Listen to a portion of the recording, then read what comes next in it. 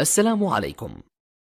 لا تنسوا الإعجاب بالفيديو والاشتراك في القناة تشجيعا لنا لنستمر بنشر المزيد إن شاء الله.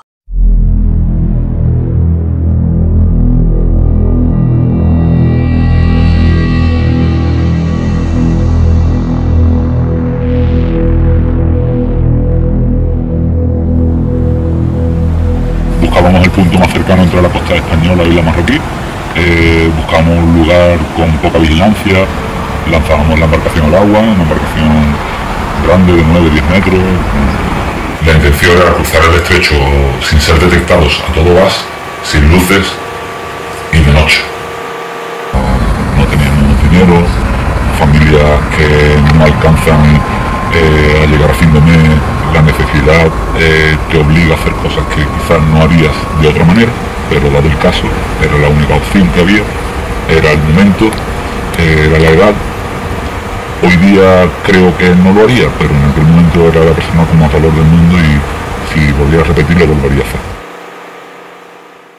y la tensión continúa. De 820 kilos de droga. Embarcaciones semirrígidas muy potentes. Donde recogían la mercancía de hachís para después volver. Para poderse dedicar a este tipo de actividades. Hay 16 personas detenidas. Y desde allí traían el hachís. La Guardia Civil ha interceptado una embarcación. Y ocultarse en esos narcoembarcaderos. Estamos hablando de un mundo que es muy cerrado y estamos hablando de una historia que no es un juego. Pero robar no robamos y hacerle daño a nadie tampoco, así que cada cual que piense lo que quiera. Es el escenario ideal. Ves el paraíso muy cerca. Ellos van buscando un objetivo. El objetivo es realizar el contrabando. El contrabando es adrenalina porque estás haciendo algo que, que, es ilegal y que sabe que te pueden coger y que sabe que tiene que estar. Esto vaya a la mínima, agua y vámonos. Un chaval de 20 años sin estudio, ¿qué hace? Es que la gente está equivocada totalmente, tío. Es que esto no, esto no es malo. Esto es algo ilegal. Nos podemos tapar los ojos todo lo que queramos, pero la droga y las armas, yo creo que son los negocios más rentables del mundo, vamos.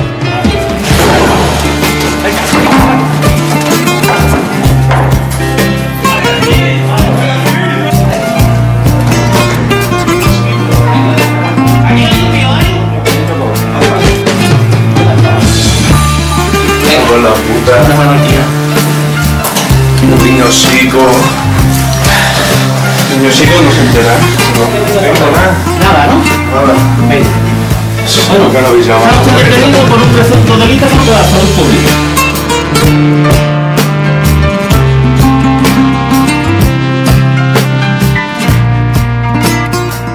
Explotamos la operación. Y entonces es cuando una buena mañana, muy tempranito, eh, de medio de madrugada, pues pum, partes las puertas y es cuando entras, detienes a toda la gente que está alrededor y entonces te llevas todas las pruebas. Nosotros deteníamos gente, eh, pero la investigación finalizaba ahí, ¿no? A partir de un determinado momento, pues se vio la necesidad de, tener que hacer operaciones eh, de mucho más calado y entonces empezaron a crearse los verdaderos enemigos de- del narcotraficante, ¿no? que son los equipos de blanqueo de capitales. Las competencias tradicionales nuestras son las de represión del contrabando. A partir de ahí, dentro del marco de actuaciones genéricas de la agencia tributaria, pues también estamos realizando investigaciones y actuaciones de represión de todo lo que significa delitos eh, de economía sumergida, delito contra la hacienda pública, blanqueo de capitales. Esta gente llega y les toca directamente al- a su línea de flotación, al corazón de ellos, que es el, el poder económico. Sí, porque el narco, el- sus propiedades están a nombre de su mujer, su abuela, su madre, su sobrina, sus tíos, sus tal. ¿no? O sea, las redes familiares son las que, que blanquean, ¿no? La investigación patrimonial de esta gente que no tiene medio de vida mm, acreditado, legal, que no tiene nada a su nombre, que no tiene un trabajo, que no tiene tal como puede tener seis viviendas, cuatro coches, no sé qué, productos financieros. Empiezan las investigaciones, lo primero que miran, ¿este hombre trabaja? No. ¿Ha trabajado alguna vez? No. ¿Su mujer trabaja? No. ¿Ha trabajado alguna vez? No. ¿De dónde sale esto? Hay gente más cauta que prefiere vivir de manera humilde y tener el dinero y vivir bien. Hay gente que le gusta alardear de ello y, y tener el dinero en boca de todo, en fin, como en todas partes. tío. Y al mismo tiempo Andalucía les ofrece algo formidable, que es, debido al boom turístico y a la especulación inmobiliaria, la posibilidad de lavar dinero de formas, eh, digamos, masivas ahora te llevas del tío absolutamente todo. Lo dejas en la más pura indigencia. Todo lo que no sea legal, miau, te lo llevas.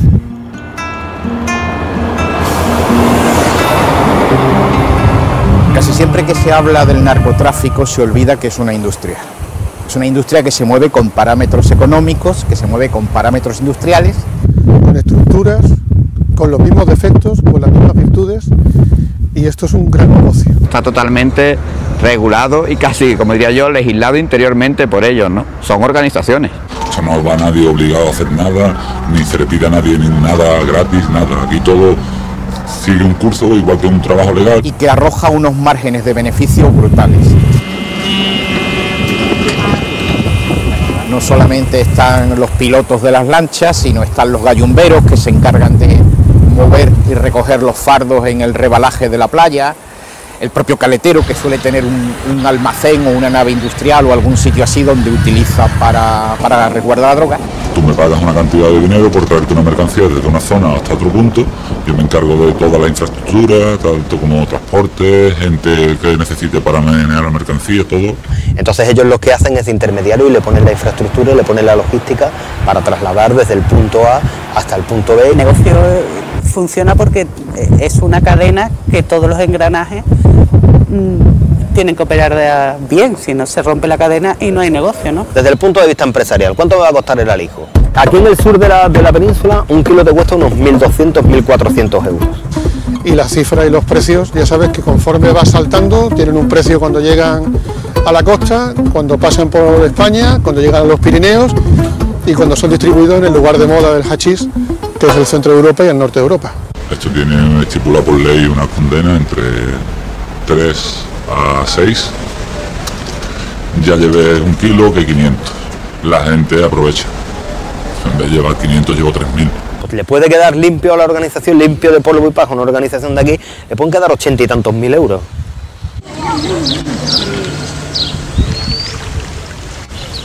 La embarcación de aquí directamente salía, cruzábamos el, el estrecho y nos dirigíamos a las costas africanas, a Marruecos. Lo que maneja la embarcación es sencillo.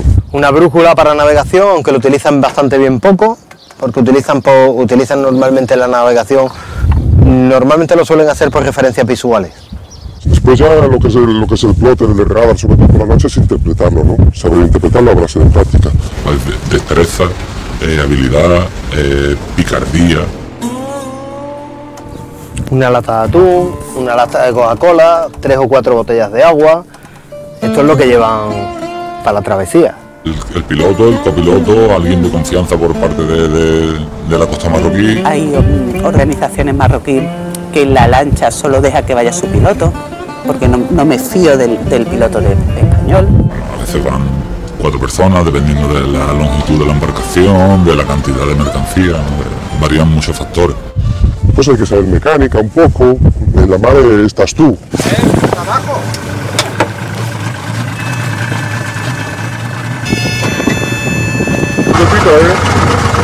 Y no hay más.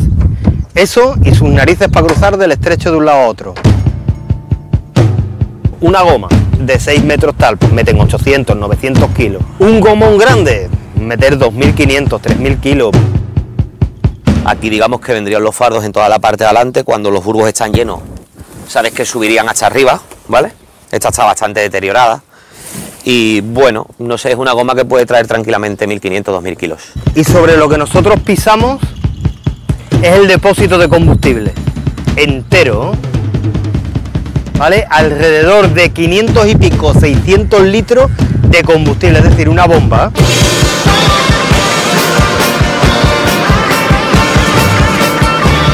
Una recreativa, una embarcación de la que se suele utilizar normalmente para la pesca de recreo. Se camufla en los habitáculos que tiene, lo que normalmente se le conoce como tambucho, o en habitáculos como este. Y aquí se trataría de, de realizar un doble fondo en la bañera de la embarcación y lo ocultaríamos a todo lo largo de la, de la bañera de la embarcación y aquí se pueden llegar a meter hasta casi incluso más de mil kilos. Entonces, a no ser que le metas los perros y te la marquen, pues físicamente no, no es tan fácil, digamos, encontrar, encontrar digamos, el cargamento que pueda llevar dentro. Este es otro tipo de embarcación de las que se suelen utilizar también con otra modalidad de, de narcotráfico. Eh, es una embarcación, como veis, más pequeña, una embarcación que tiene pocos sitios donde ocultar droga y lo que se suele hacer con ella es eh, hacer de, puente, digamos, entre lo que nosotros le llamamos una nodriza, una embarcación que va cargada con, con una gran cantidad de, de hachís y lo que se hace aquí es que por una persona o por dos personas se llega a la embarcación que va navegando cerca de la costa, recogen parte de la droga y van descargando y pueden hacer varias descargas a lo largo de la costa en diferentes puntos. Necesitas menos gente para descargar, eh, menos gente que se puede ir de la lengua, menos gente que pueda cometer una indiscreción.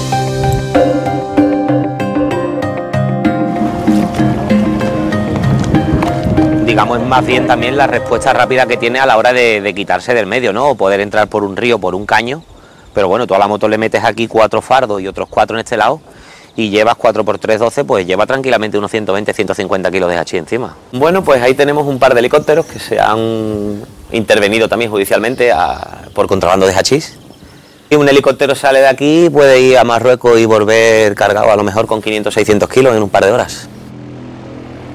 Cuando intervenimos en cualquier operación antidroga, lo que se hace es que eh, se interviene, se encuentra la droga, se detiene la gente y con esa embarcación, con ese vehículo, una vez que se ha registrado y es positivo en temas de, narcotráfico, o bien que su dueño lo ha adquirido con bienes del narcotráfico, pues hay que ponerlo en algún sitio.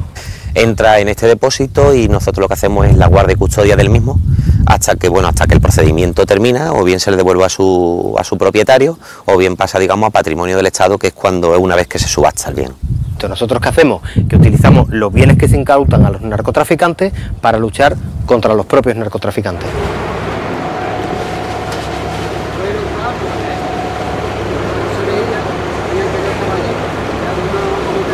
En el momento que localizas un, objetivo o una embarcación que supuestamente pueda transportar hachís o, o cualquier otra sustancia, se le da eh, información eh, al centro de transmisiones de, de aduana para que éste active todos los medios, tanto de embarcaciones como gente por tierra y demás.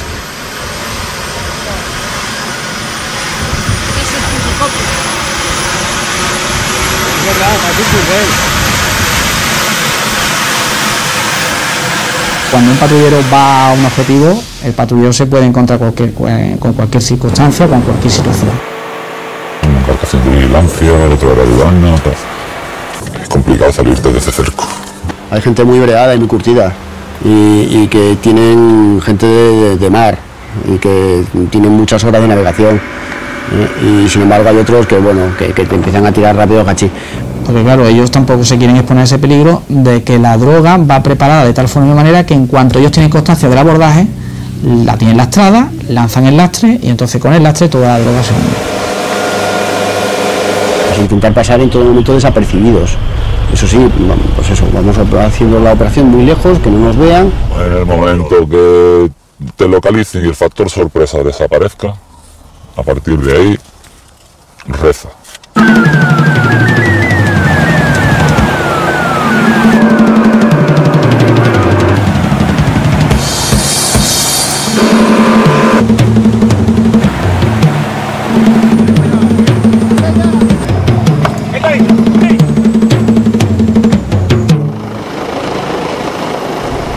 El helicóptero encima es lo peor que te puede pasar.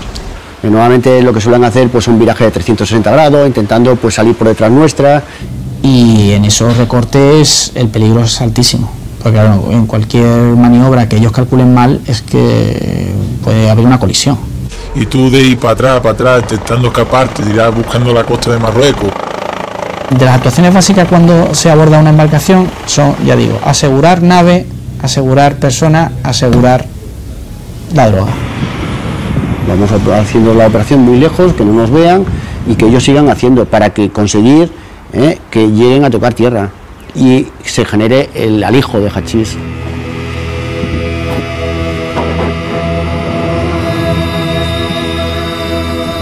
Nosotros siempre procuramos, cuando los tenemos controlados y tal, dejarlos que descarguen la mayor parte posible de la, de la droga para entrarles, ¿no?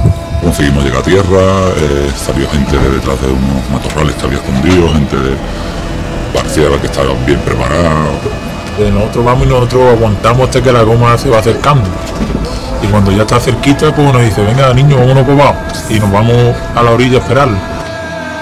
Entonces la verdad que la descarga es bastante rápida y ahí es el momento donde ellos también son más vulnerables, ¿no? Tú vas a cogerlo, ves que corres para atrás y llega y ve otro todavía tu amigo ahí, corre y la tercera, yo qué te pasa, no sé, no sé, y te queda oído y ya tú te das cuenta que los nervios le traicionan y no, y no puede hacer nada. Cogían a 4 o 5 pardillos, le metían un alijo de 200 300 kilos por ahí, trincaban a esa gente y estaban pasando 10.000 kilos por otro sitio. O sea que al final, ¿quién caía? Los chavales jóvenes. Cuanto más cerca tú estás de la mercancía, más pringado eres en el negocio, porque te estás arriesgando más y cobras menos.